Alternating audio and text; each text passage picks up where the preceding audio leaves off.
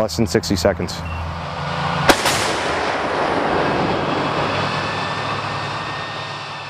I'm Staff Sergeant Tyler Iden with Charlie Battery, 1st and 109th Field Artillery.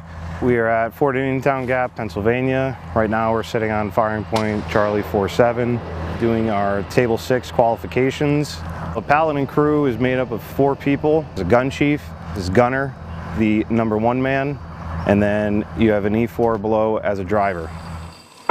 Fire mission is received from 13 Foxes. And bid 10, this is XL 775 for effect, over.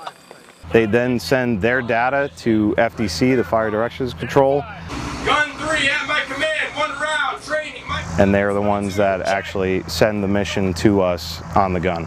Everybody else fire mission, your driver will then rev up the gun. The number one man will pick up the round, put it on the tray.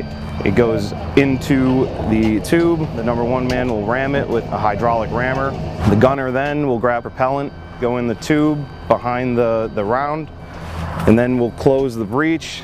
Chief will then lay the gun, tell the number one man to prime. Once they're primed, he'll tell him to hook up. He hooks up. One last verification, and he tells his uh, number one man to stand by and fire.